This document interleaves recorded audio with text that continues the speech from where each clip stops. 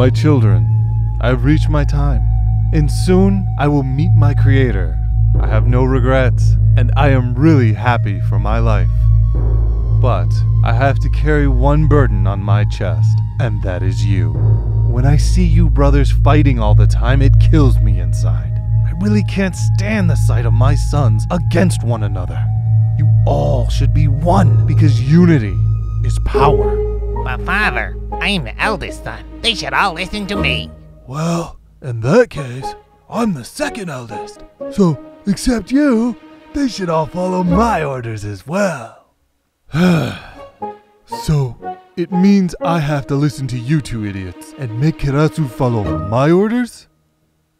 I think you are all dreaming. Orders, my foot. This, this is what I was talking about. Ichiro, Utaka, Saburo, and you, Kirasu. You're all a bunch of idiots. Always fighting each other and not united as one. Now, go! And each of you, bring me a stick from the jungle. I don't know what to do with these kids. Great! You have the sticks. Yes, father. Ichiro, you are the eldest. You take this and tie up the sticks together. Father, it is done. Now what? Ichiro, now try to break these sticks. Okay, here I go. Ah! Fuck you!